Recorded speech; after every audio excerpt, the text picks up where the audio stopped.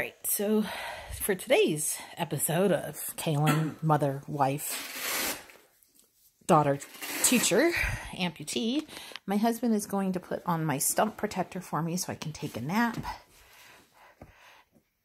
I don't know if you'll have a stump protector or a cast, but you want to make sure that your knee is in the opening. The bottom, they said, can be fairly loose. Doesn't have to be super tight, but the top is where it has to be as tight as possible because that's what will keep it on your leg.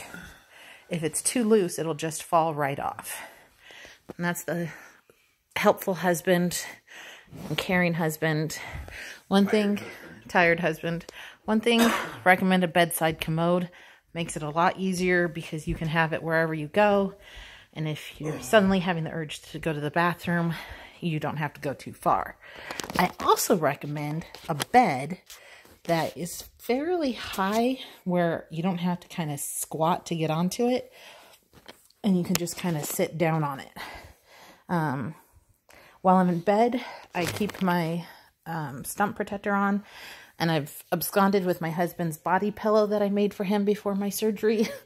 so nice of me to make it for him in time for my surgery. Uh -huh. Anyway, I put my leg on this mm. and it elevates it just enough so that way I'm comfortable. I like to sleep on my side.